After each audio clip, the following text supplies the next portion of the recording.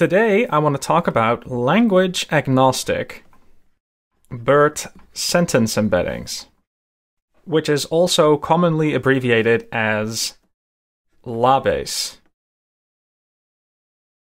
The idea is that I'm interested in constructing a transformer like model that can accept input from any language. We're trying to look for something that is indeed agnostic. And the reason why we're interested in this is because if we think about the conversational setting that we see online, then even if you're speaking in, let's say, Dutch, you will very commonly see Dutch being used together with English. And it's not just happening in Dutch, it's happening to a whole bunch of languages.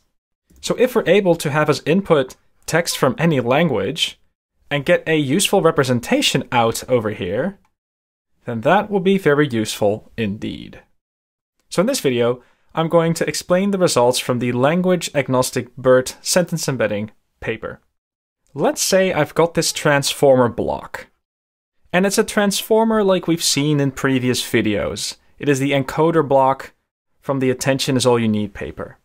Then what's happening is I've got text which is turned into tokens. Typically these are subtokens, which in turn are turned into embeddings, fed to a transformer, and the idea is that the embeddings that come out on the other side are contextualized. If you want to learn something in such a system, though, you need something of a label.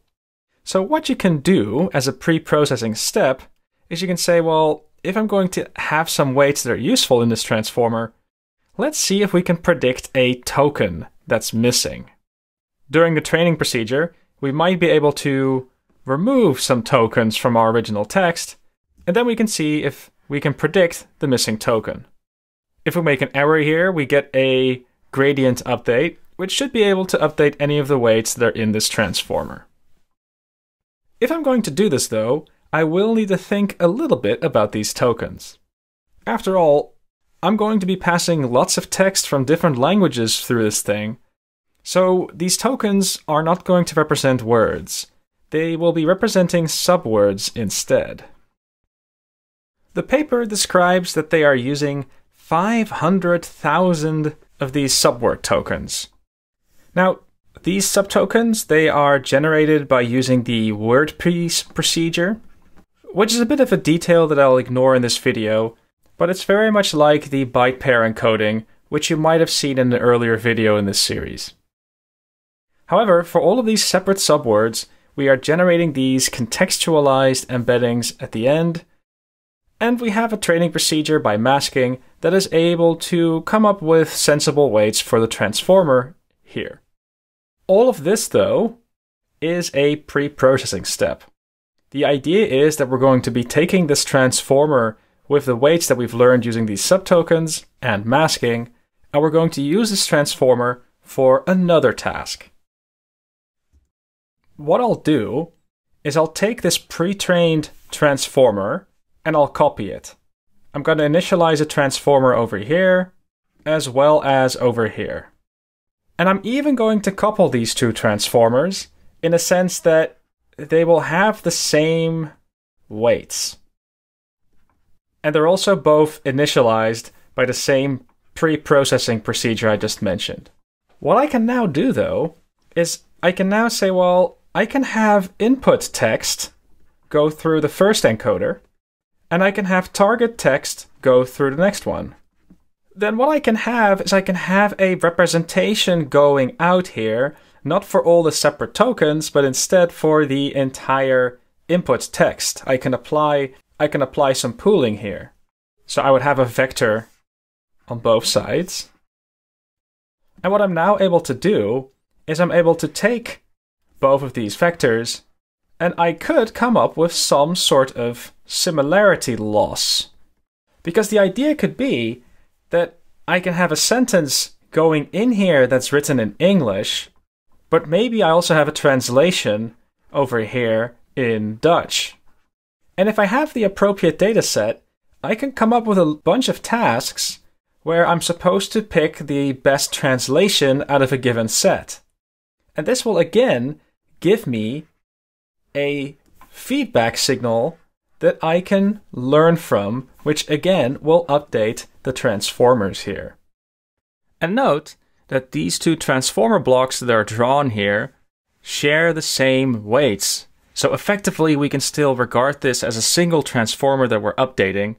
It's just that we have two language as inputs, so that's why we have two blocks drawn here.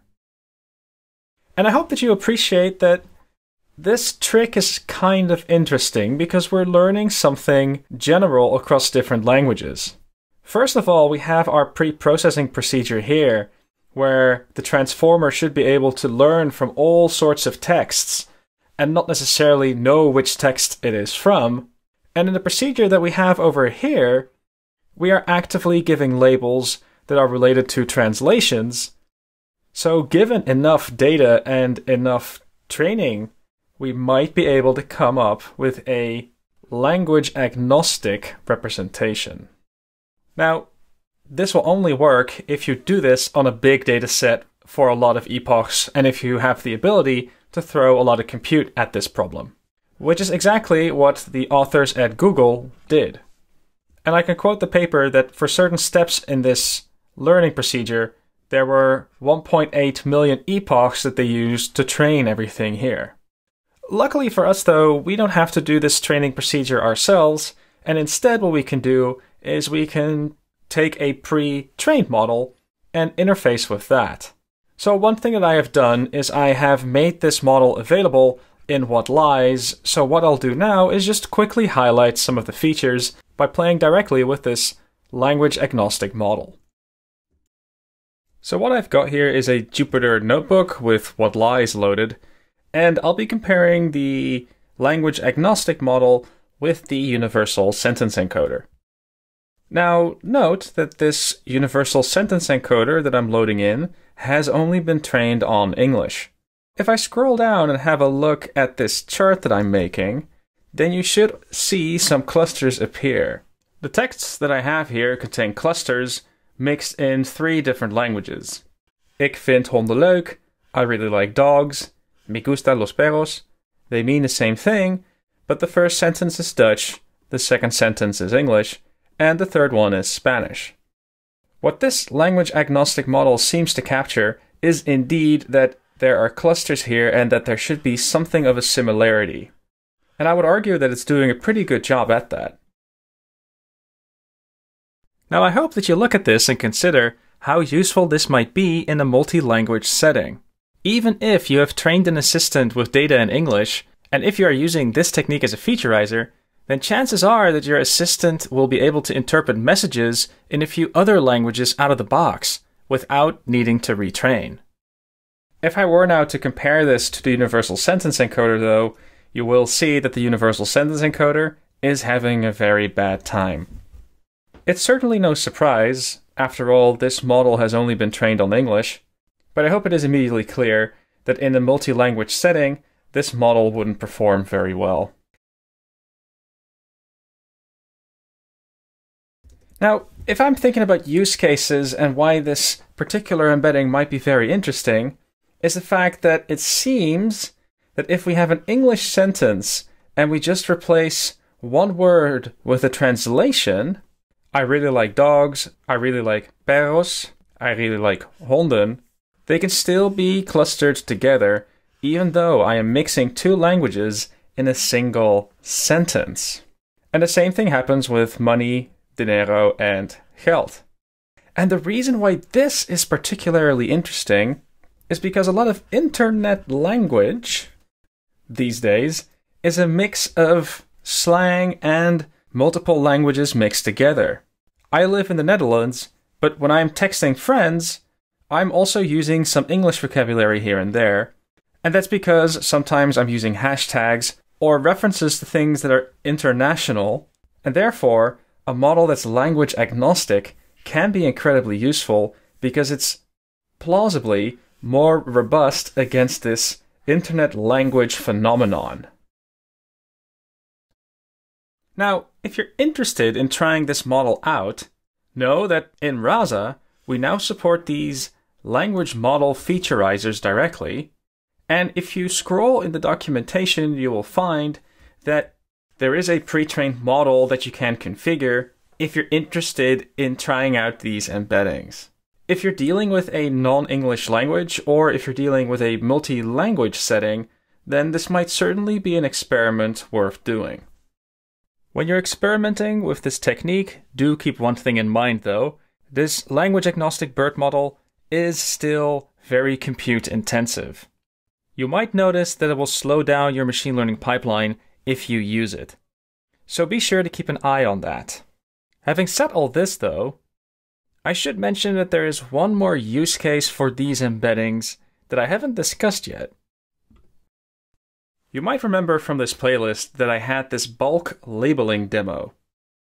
The idea was to take text, pass it through a language model, and then use a dimensionality reduction technique to plot it in 2D. This might give us clusters on a 2D plane where we might draw as well. For example, I can draw a cluster here, get a preview of all the points in this cluster, and the idea is that I can then assign a name to it. This cluster is all about time, for example.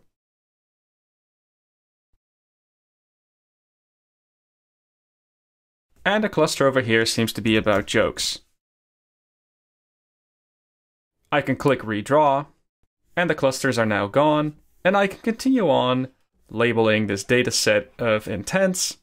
And the reason why this is a relatively effective technique is because I've got a language model at my disposal that knows how to cluster these together. Before, though, I will be using the universal sentence encoder for this embedding, but because this language agnostic model is now implemented in WhatLies, that also means that I have 109 languages potentially at my disposal that I can label using this bulk labeling technique. Note that you don't have to use WhatLies. The language agnostic BERT model is also readily available in TensorFlow Hub and in Hugging Face.